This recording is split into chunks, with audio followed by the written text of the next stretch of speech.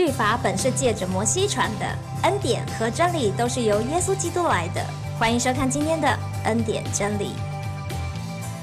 让我们来看看到底怎么定义异端，请看到底什么是异端呢？何谓异端呢？我们看下一页。你知道，如果真的是异端，我就要用外面人来检视嘛。我自己说，我觉得没有人说自己是异端，就算异端也说自己不是异端。所以我们看基督教论坛报怎么看五个检验异端的标准，符合一个就是异端哈。好，请看下一页。第一个，关于圣经的权柄。提摩太后书三章十六节说，圣经是神所漠视。以赛亚书八章二十节说，人当以训诲和法度为标准。马太福音五章十八节说，就是到天地都废去了，律法的一点一画也不能废去，都要成全。所以呢，我要强调一件事，我们不是废法主义，我们完全没有说废律法被。废止的，我们说律法被成全了，因为耶稣基督为我们成全的律法一切的要求。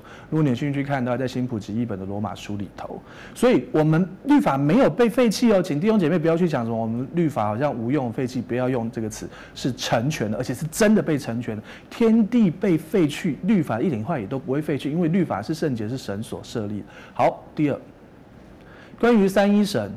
神就有一位，但是有父子圣灵的三个位格，三的讲究。你看，父是神，子是神，灵是神，父是永远，子是永远，灵是永远，父子灵是永远到永远，同时共存，互相内在，不相分离的这个部分，当然所有的基督徒都完，真正的基督徒都完全阿门三一神这个部分。好，我们再看下面。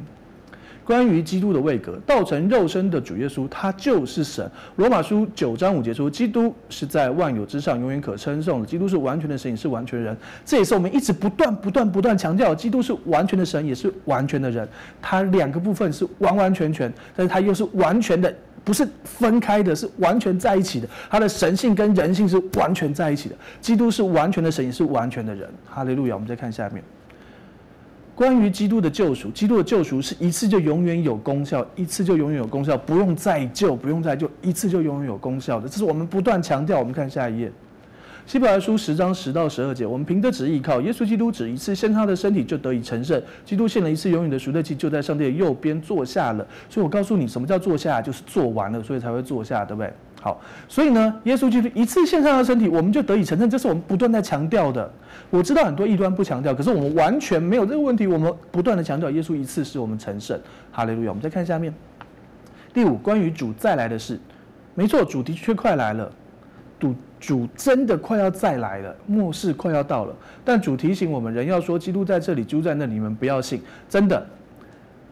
不要去信那些什么说他是基督的，他是弥赛亚的人，没有了。耶稣就那一次这样子降生，然后下一次来就是来审判，来成就这一切。当然跟你千禧年国度的观念有关，没关系。耶稣下次再来就是直接彰显出他的大能，所以不要去相信那些人自称自己是基督是谁谁谁谁谁。好，我们再看下面。另外一个，我们不能只看一个，我们要多看一些专业的圣经学者摘自异端学。卓明焕著，橄榄基金会出版。卓明焕是一位韩国的呃的神学的高手，他写异端的东西，写到他最后被异端暗杀了。他是一个非常，他讲的东西是非常的对的，非常好。还有再来摘自沈介山所著的《今日教会的渊源》，是浸信会文字中心出版的。OK。那我们来看，到底他们怎么看是异端？我们来检视到底自己是不是嘛？没关系，我们就是在神面前，真理真金不怕火炼，真理不怕被检视。我们继续看，如何分辨异端呢？请看，第一，以使徒信经的信仰告白来分辨异端。我们教会完全相信使徒信经、尼西亚逆经啊、亚差纳修信经这三个信经所讲的每一字每一句。好，我们来宣告，来读使徒信经，请。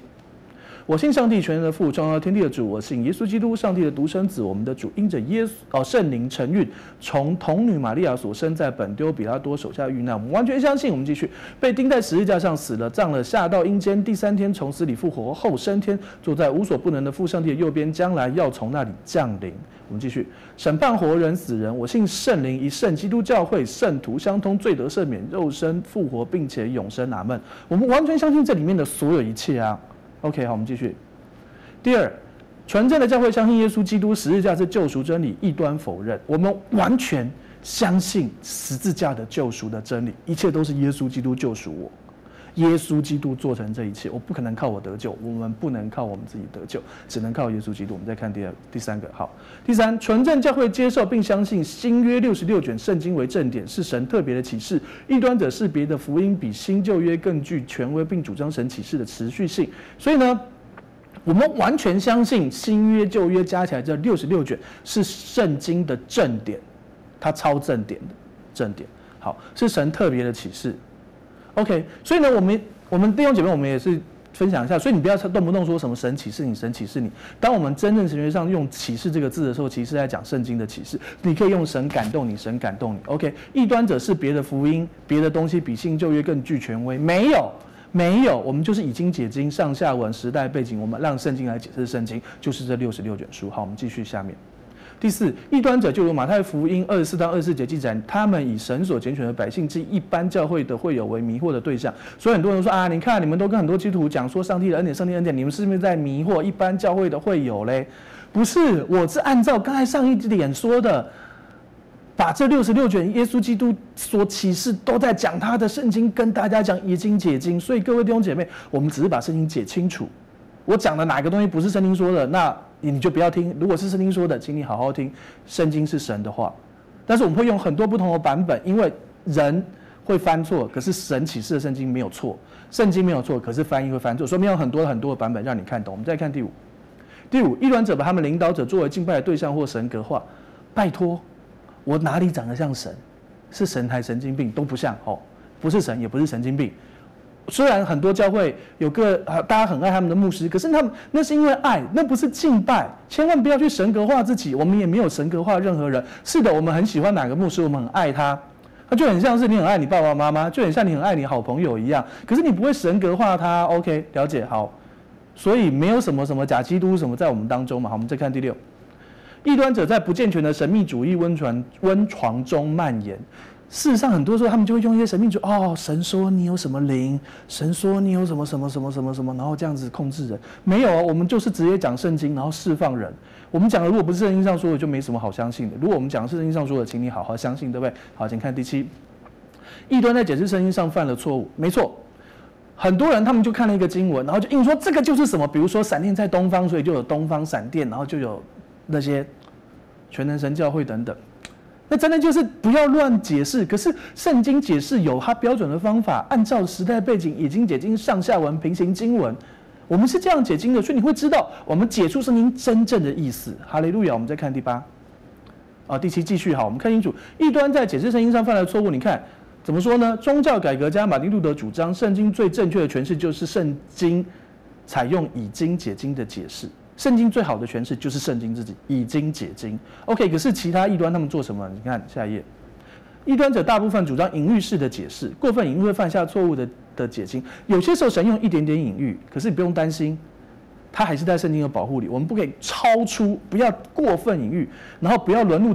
只有他们，所以我也鼓励我们弟兄姐妹，就算你知道恩典，你不要觉得好像弟兄姐妹很多弟兄姐妹好像有一有一些律法，或是有一些什么状况，你不要看不起他，你要爱他，他是你的弟兄，是你的姐妹，不是只有我们教会才是纯全的教会，没有，只要接受殷勤诚意的教会，只要接受耶稣基督的恩典教会，都是弟兄姐妹，都是自己人，不要认为只有自己百分之百通达圣经哦，好，不要认为只有百分之百自己通达圣经的骄傲，那个是很容易进到异端，弟兄姐妹要小心。好，我们再看下一个，没了吗？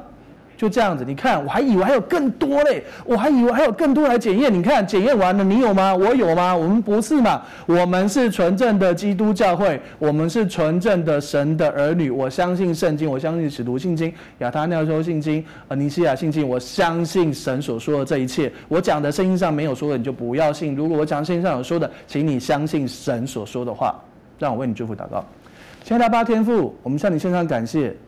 我们知道什么是真理，就是耶稣基督并他钉十字架，就是圣经启示的六十六卷书，就是唯独恩典、唯独信心、唯独基督、唯独圣经、唯独荣耀归给神这五个唯独，主要让我们不要好像别人跟我不一样，就说他是一端。是的，我们有些东西的看法不一样。金星会相信要要敬礼，啊，点水礼也还是弟兄姐妹。也许我跟你不一样。但是我们是弟兄姐妹，我们还是神的儿女。我祝福每个弟兄姐妹，我们彼此相爱，在一主一信一喜一神的前提之下，彼此合一，一起把耶稣基督传出去。也许我们有一点点不同，但是神还是爱你，神也爱我。让我们彼此相爱，让我们尽力竭力保保守圣灵所赐合而为一的心。奉耶稣的名祝福你，也祝福我，祝福每一位弟兄姐妹。奉耶稣名祷告，阿门。